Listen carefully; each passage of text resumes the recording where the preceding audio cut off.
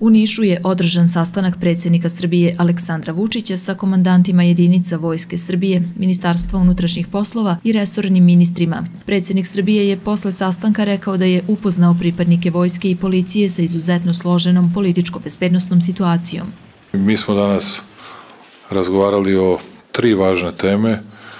Jedna je bezbednostna situacija u zemlji i regionu. Ja sam upoznao pripadnike i vojske i policije, odnosno Ministarstva unutrašnjih poslova sa izuzetno složenom političko-bezbednostnom situacijom rekao da će Srbija da se ponaša veoma odgovorno, veoma ozbiljno, da čuva mir i stabilnost, ali da Uz mnoge loše rečenice koje je Broz imao, jedna je bila tačna, a to je da živimo kao da će sto godina biti mira, da budemo spremni da zemlju branimo u svakom trenutku. I u skladu sa tim naše jedinice su i u vojsci Srbije sve pripremljenije, obučenije i opremljenije Naš budžet za odbranu, ali i za Ministarstvo unutrašnjih poslova je nikada veći. I ne samo taj budžet, već i ono što smo iz tekuće budžetske rezerve i iz bilansnog prostora budžeta uzimali značilo je mnogo, dakle, o različitim vrstama oruđa i oružja, ali to olakšava poziciju jednoj relativno maloj a nezavisnoj i suverenoj zemlji da vodi nezavisnu politiku.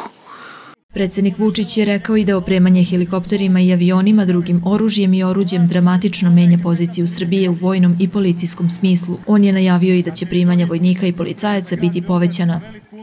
Njihova primanja danas su bolja nego što su bila.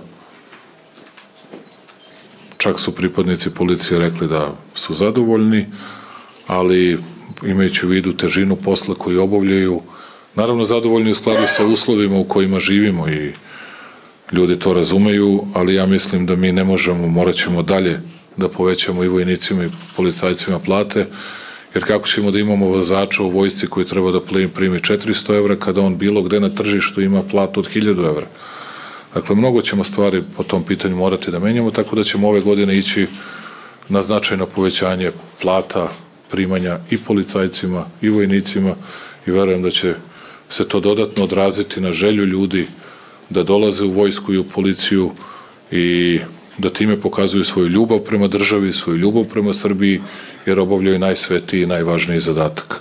U Nišu je tokom dana održana vojno-policijska parada Odbrana slobode u kojoj je učestvovalo više od 4000 vojnika i policajaca, oko 300 borbenih i neborbenih vozila i sistema i oko 40 letelica. Paradi u Niškom bulevaru Nikole Tesle, pored najviših svaničnika Srbije, prisustvovali su i brojni građani, a kako bi svi mogli da prate paradu, postavljeni su i videobimovi. Program prikaza koji je počeo intoniranjem himne Bože pravde obuhvatio je svečani defile pešadijskog ešalona, defile motorizovanog ešalona, nalet vazduhoplovnog ešalona i padobranski desant.